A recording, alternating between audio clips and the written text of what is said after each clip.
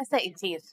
العالم النهارده متلخبط وخايف لا تقوم حرب جديدة والمرة دي بين إسرائيل ولبنان وطبعا إيران هتدخل هي كمان على خط النار بعد ما حذرت إسرائيل النهارده في بيان ليها من الدخول في أي مغامرات عسكرية جديدة في لبنان وإن لو ده حصل هيكون في تداعيات غير متوقعة.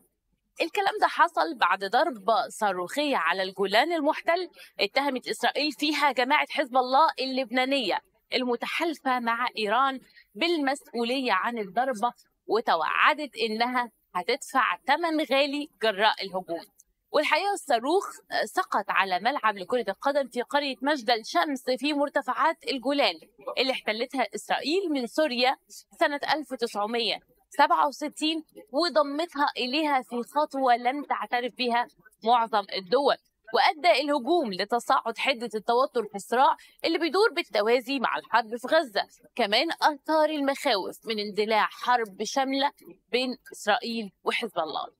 الحقيقة أن الهجوم على ملعب كرة القدم كان في أعقاب ضربة إسرائيلية على لبنان أدت إلى مقتل أربعة مسلحين لكن الحقيقة حزب الله طلع بيان ونفى نفى فيه مسؤوليته الكاملة عن الهجوم اللي أوقع أكبر عدد من القتلى سواء في إسرائيل أو في الأراضي اللي ضمتها إليها منذ بدء الصراع في غزة.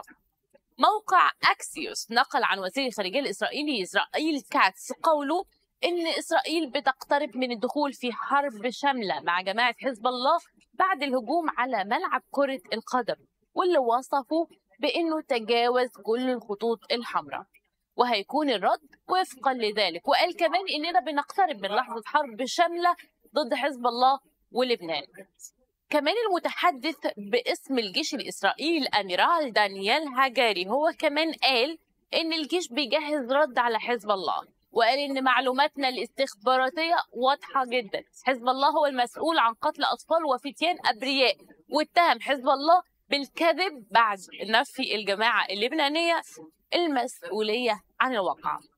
المتحدث باسم وزارة الخارجية الإيرانية ناصر كنعاني هو كمان رد على كل الكلام ده وقال في بيان رسمي إن أي خطوة تنم عن جهل من النظام الصهيوني قد تؤدي لتوسيع حالة عدم الاستقرار وعدم الأمن والحرب في المنطقة.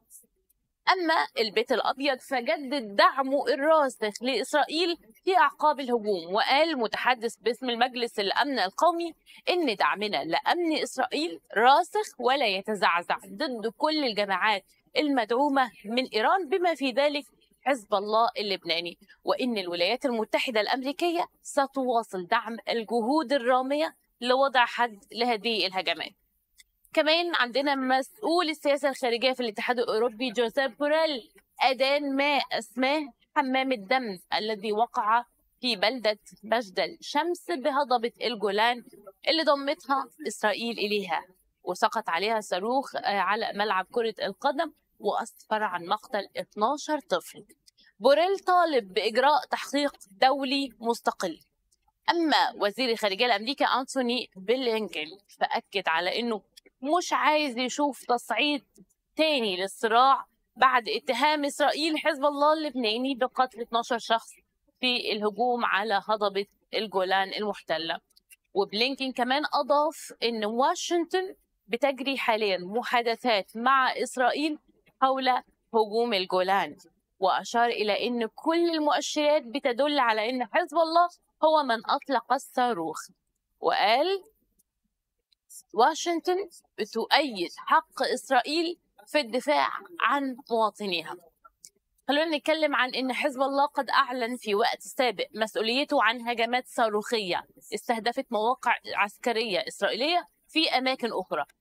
الحقيقة الصراع اللي موجود بالفعل على جانبي الحدود الإسرائيلية اللبنانية اجبر عشرات الآلاف في لبنان وإسرائيل على مغادرة منازلهم وأدت الضربات الإسرائيلية لمقتل 350 من مقاتلي حزب الله في لبنان وأكثر من 100 مدني منهم مسعفون وأطفال وصحفيين.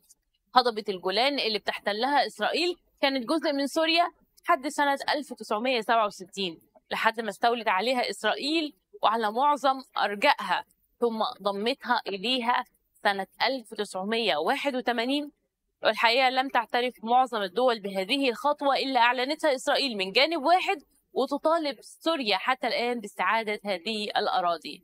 وفي الجولان بيعيش دلوقتي أكثر من 40 ألف نصهم من الدروز اللي بيمثلوا أقلية عربية.